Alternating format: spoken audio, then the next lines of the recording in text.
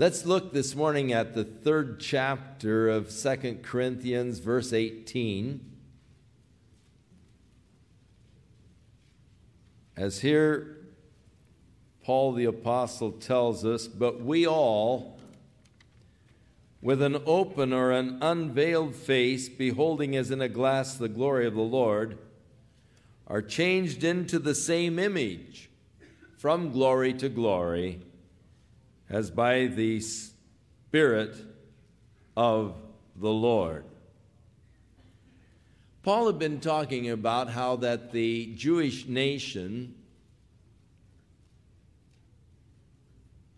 had a veil over their face when they were reading Moses, even as Moses had put a veil over his face when he had come down from bringing them the law.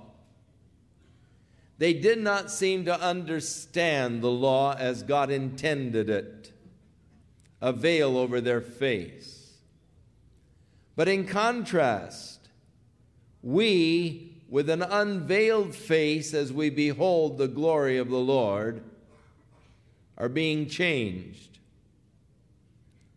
into that image from glory to glory, even by the Spirit of the Lord. You see, when God first created man. God created man in his own image. Genesis 1 26 and 27, and God said, Let us make man after our image and our likeness. And so God created man after his image and his likeness. The Bible tells us concerning God that God is light. Man was created in the image of God, and so man was created with that light or understanding of God. Adam instinctively knew God when he was first created because he was created in the light of God. The Bible tells us that God is love. So when God created man in his image, he created man with the capacity to love, and he created man with the need for love. The Bible tells us that God is a spirit. So when God created man, he created man a spirit being. You see, the real me is spirit, not this body. This body is only an instrument in which I express myself. It is a tent in which I am presently dwelling, but I will soon be moving out of it into a beautiful new ma- mansion not built with hands that is eternal in the heavens. The body isn't the real me, the real me is spirit. God is a spirit. I was created in the image of God, and thus man was created as a spiritual being. That as he walked in the Spirit, he might be one with God. Finally, the Bible teaches us that God is a self determinate creature, that he wills his own will in the world. He created me in his image, and so he created me with the capacity of self determination. I choose my own destiny. I become what I want to be. I choose with whom I will live. I choose where I will live, how I will live. I am a self determinate being created in the image of God who is also a self determinate being. So, man was thus created in the image of God. Why would man be created in the image of God. God created man in the image of God so that man might know God. That's why he gave to man the enlightenment of himself. God created man a spiritual being that man might become one with God in the Spirit. God created man with the capacity of love that he might receive the love of God and give love unto God. But in order that man's expressions of love to God be truly meaningful, God did create man a self determinate being so that man could choose to love God or choose not to love God. Thus, the love is meaningful because it is a choice, not something that is forced. If I say to someone, You've got to love me, and I hold a 45 to their head and say, You've got to love me, you know.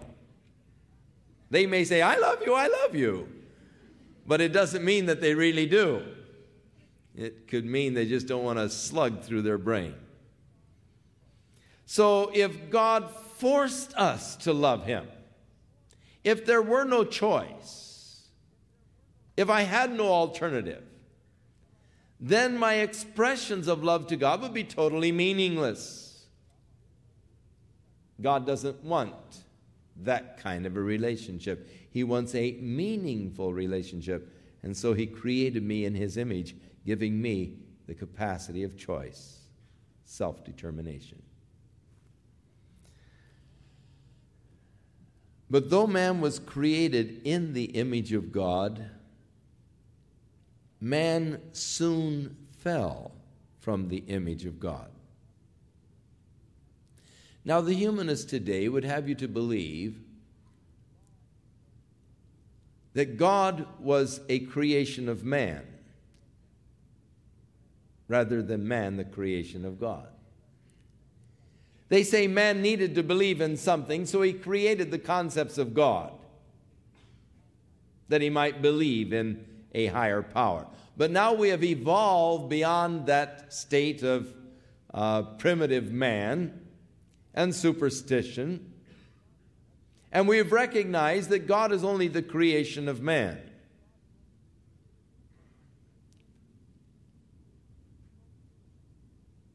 In so doing, they have left man in total darkness concerning God. Man was created in the image of God, but he soon fell from that image of God. For he exercised his choice in a very foolish way. He chose to disobey the command of God. God said, Of all of the trees that are in the garden, you may freely eat, except the tree that is in the midst of the garden. And in the day that you eat of it, you will surely die. God warned man that it was possible for his spirit to die, for him to lose that communion and fellowship with God, for him to lose that light and understanding of God. But man exercising this capacity of choice foolishly disobeyed God and as a result died spiritually. And having a spiritual death, he became alienated from God. He began to walk in darkness. He no longer understood the truth of God. His foolish heart was now darkened.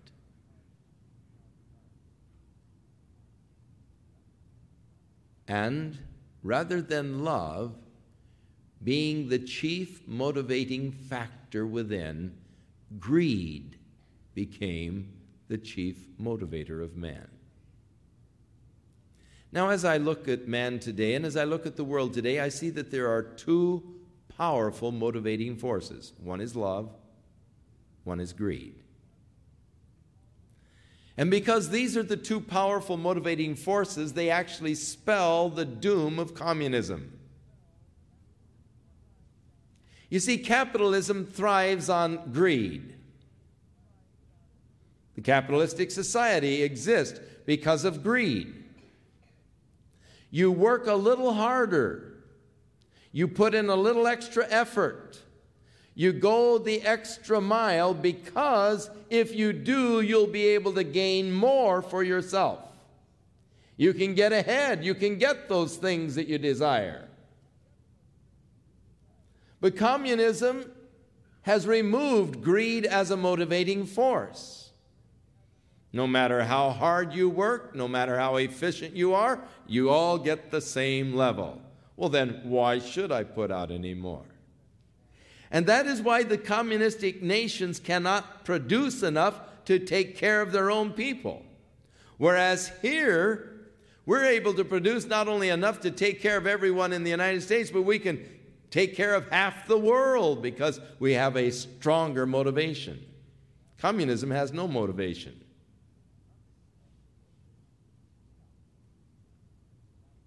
Now, as you can obviously see, I'm not making a brief for capitalism nor for communism. They're both corrupt. I am waiting for a glorious kingdom that the Bible promises me is coming. It's a kingdom where man will be motivated only by love.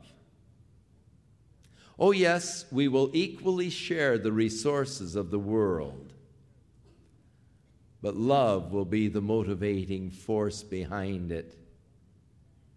And it's because of our love for God and our love for each other that we'll go the extra mile, that we'll put in the extra effort, that we'll do a little bit more in order that you might be benefited and blessed. God's glorious kingdom.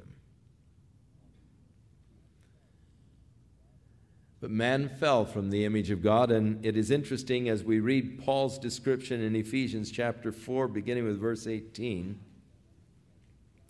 He said, having the understanding darkened.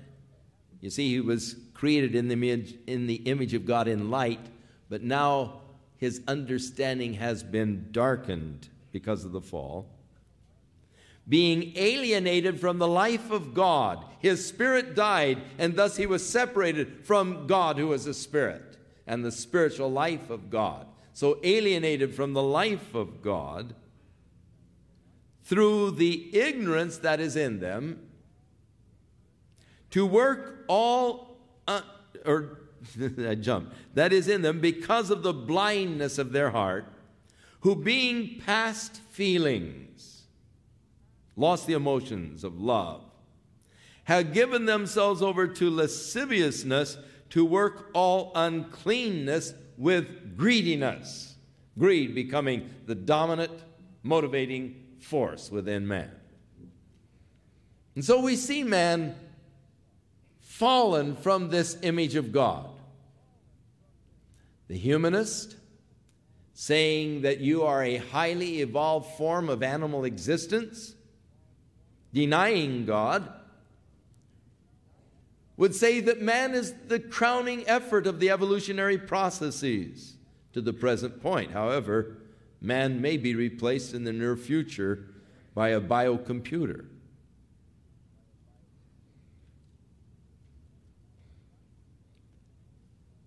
But the Bible says that no, you are not a highly evolved animal. You aren't at the peak. You have fallen from the peak. And rather than a highly evolved animal, you are a fallen form of God.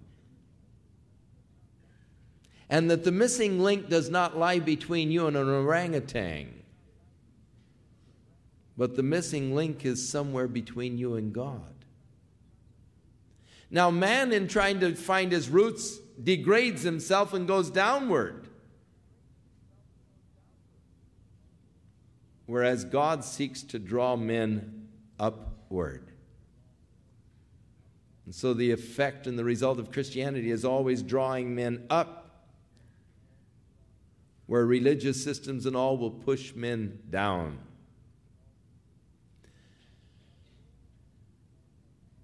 Now, though man has fallen from the image of God, it is God's desire to restore man into his image. And to this end, he sent his only begotten Son. There are some men who have caught sight of the ideal. Somehow within them, they say, There's got to be a better way. Surely life has to be more than this. And the moment you say, there's got to be a better way, life has to be more than this, you are recognizing that there must be an ideal somewhere, though you may not be able to uh, define it. You're aware that it must exist, and there is that yearning for a better life, for a better way, for the ideal.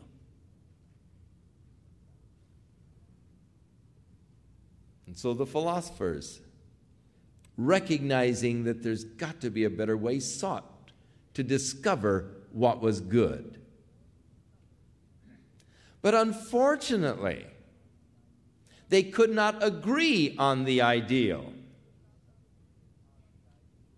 They could not agree as to what the image of God really was. Some philosophers said, well, it's this, and others said, oh, no, it's not that, it's this. Pleasure, that's the chief good. Oh, no, no, no, not pleasure. Power, that's the real good of life. And, and so they went on with their various uh, concepts of what did constitute good until we finally came down the road into existential philosophy, which said, oh, there isn't any real universal good. It's if it's good to you. As you experience it, good is only as you experience it yourself and find it good. And so philosophy could not help man to the ideal because it uh, was too busy trying to discover what the ideal was. So the moralist came along. And the moralist said, Yes, there is a good and a better way, and we should all strive to discover and to walk in the better way. And so we had great moralists like Buddha who said, Don't do to others what you don't want them to do to you. And he pointed to the path and he said, That's the way you should walk. That's how you should live. The evil all lies in the material realm. And so you've got to divorce yourself from materialism, from material desires, and start living only in the realm of the spirit. Because all of the problems of man, the griefs and the sorrows, result from man's desire for the material things. Sounds pretty much like the gospel. Only it's the opposite of the gospel. Because if you just point the right way to me and you just say that's the way you should walk, but you don't help me to walk that way. I may, and I have tried to do the right thing. I've tried to be good, but somehow I don't find the capacity within me to do it. So to be able to see the good and not be able to walk in it is only frustrating.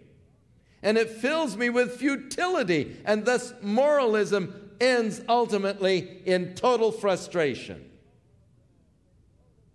And so, with all of the moralists, Confucius or whatever, they are pointing to the path, but they give no dynamic by which to live the life.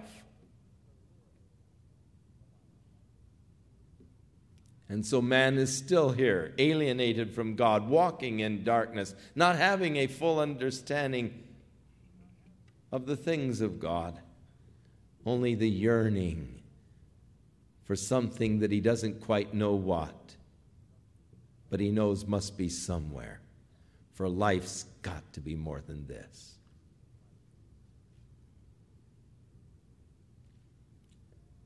The humanist, of course,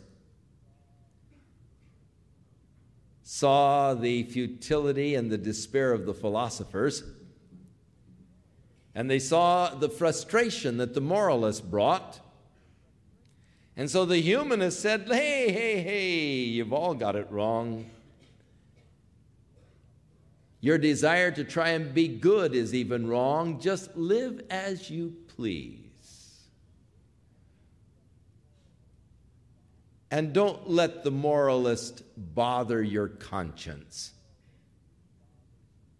But whatever is right to you, whatever is good for you, go for it.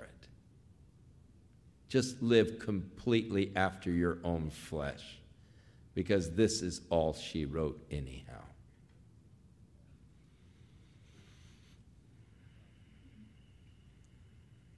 Now, enter the scene Jesus Christ.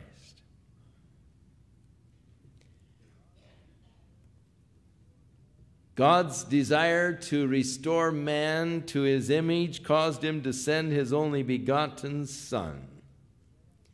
And here in verse 18 of chapter 3, Paul tells us the processes whereby we are restored into the image of God. We all, with unveiled faces, beholding the glory of the Lord. My being restored in the image of God begins with my looking at Jesus Christ and there seeing the glory of the Lord. Verse 6 of chapter 4 For God, who commanded the light to shine out of darkness, hath shined in our hearts to give the light of the knowledge of the glory of God in the face of Jesus Christ. I was created in the image of God in the beginning, enlightened in the way of God, but through sin, darkness filled man's heart. But even as the creation of light was the beginning of God's recreative acts in the book of Genesis, and God said, Let there be light. So that is the first step of God's recreation process as He restores you into the image of His Son. Again, the glorious light of God shining in your heart through Jesus Christ. And so we, with open face, beholding the glory of the Lord, as we see that in the face of Jesus Christ, are being enlightened by God and being given an understanding once more of what God is really like. Jesus said to Philip, If you have seen me, you have seen the Father. And so I understand what the image of God is when I look at Jesus Christ. You see, unfortunately, if I want to know what God intended when He created man, I cannot look around me today because all of us have come short of the glory of God. If I want to know what God really intended when He created man, I must look at Jesus Christ, and there I see God's ultimate intention for man. I see how God wanted me to live in fellowship with Him. I see how God wanted me to live motivated completely by love, giving and going the extra mile because of love.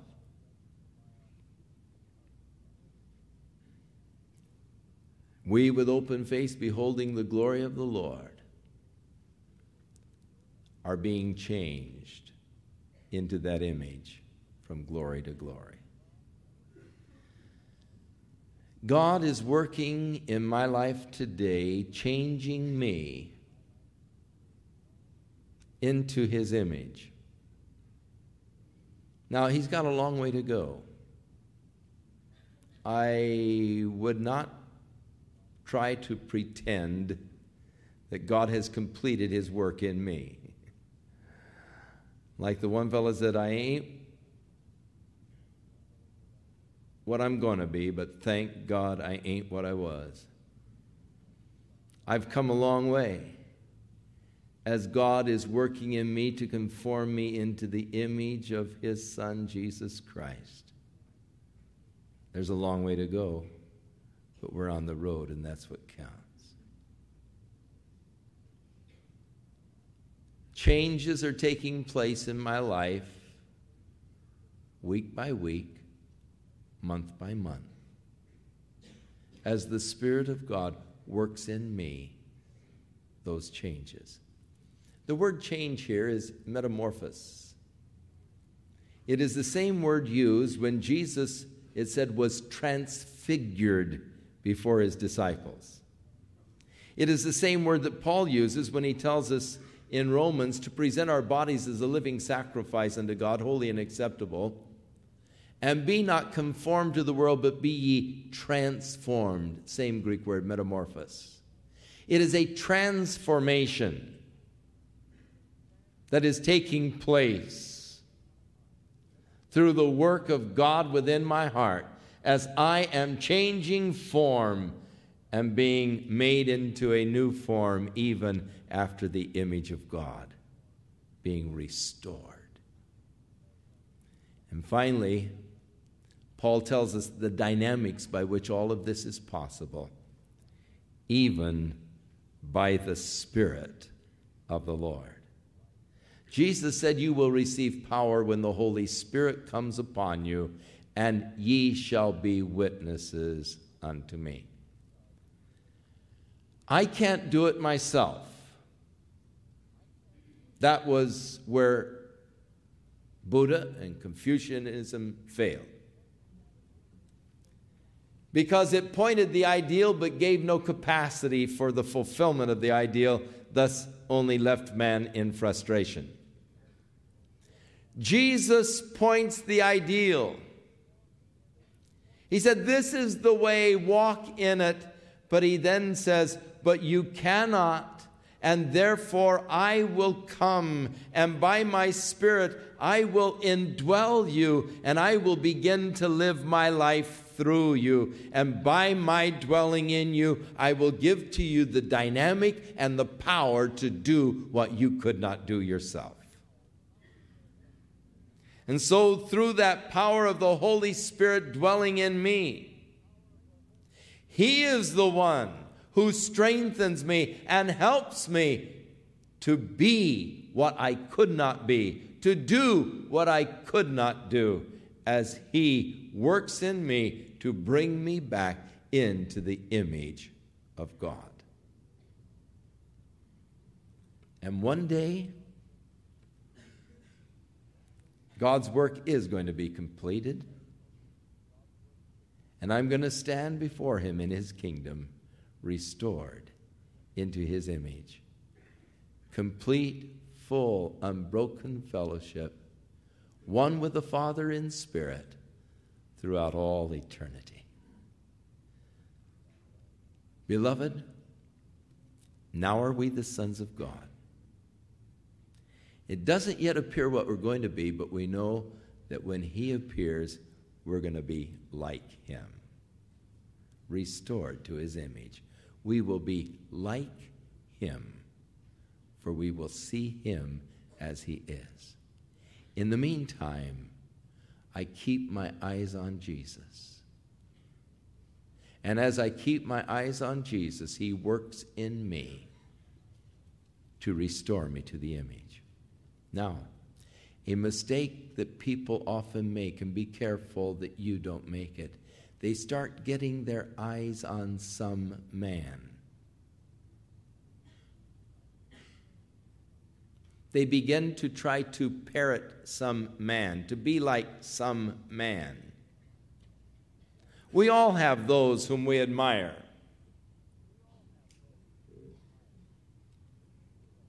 That we seek to emulate. It is interesting to me, though, that when we seek to emulate someone we admire, we usually emulate some peculiar idiosyncrasy.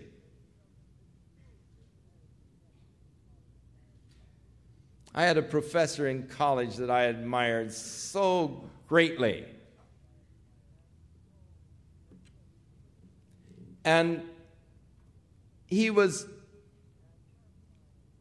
he had a, a, a sharp mind and a, and a good sense of humor. And he had a way of making some kind of a little noise in his throat after he had told a joke. And everybody was laughing. He had a way of making this peculiar little noise in his throat. And so I found myself after telling a joke, and I don't know how I even made the noise, but that little noise was coming out, you know. Stupid. Picked up this crazy little idiosyncrasy. Perhaps some of you have read of Smith Wigglesworth. He was a man of faith and he was from England but ministered here in the United States for a period of time. And, and uh, a lot of young ministers really uh, were attracted by this man's tremendous faith in God. He, he wrote some books on the subject of faith. Smith Wigglesworth had a uh, sort of a handlebar mustache. And while he was talking, he had a peculiar little idiosyncrasy of, of twisting the mustache. After he left the United States, you could go all over the country seeing ministers talking, twisting an imaginary, mu- they didn't have a mustache, but they were still working on it, you know. As you pick up some peculiar idiosyncrasy of the person that you admire.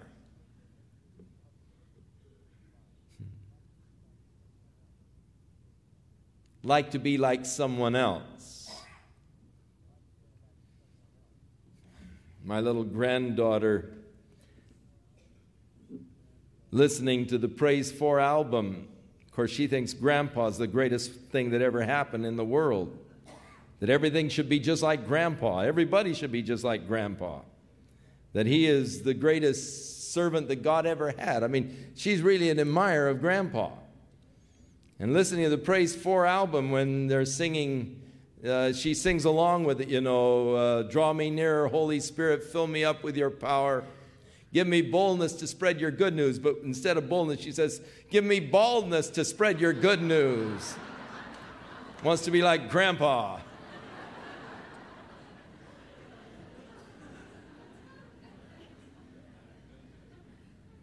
But don't look to man. Don't get your eyes upon man but keep your eyes on Jesus. We, with open face, beholding the glory of the Lord, get your eyes on Jesus. Keep your eyes on Jesus. And as you keep your eyes on Him, then He'll be bringing to pass those changes that are necessary in your life. For we all, with unveiled face, beholding the glory of the Lord, are changed into the image from glory to glory, even by the power of His Spirit working in us. Yes, restored to the image of God. That is the ultimate intention of God for each of your lives. And if you'll just keep your eyes on Jesus, it shall become a reality. Shall we pray? Father, thank you for the truth of your word that strikes our hearts this morning.